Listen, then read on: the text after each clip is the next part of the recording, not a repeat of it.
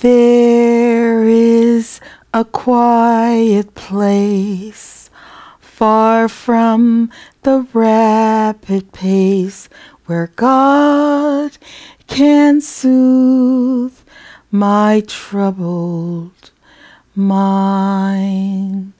Sheltered by tree and flower, there in my quiet hour with Him, my cares are left behind.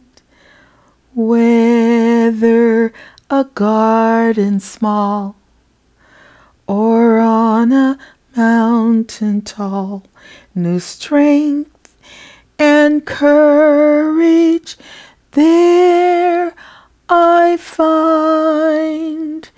Then from this quiet place I go prepared to face a new day with love for all mankind.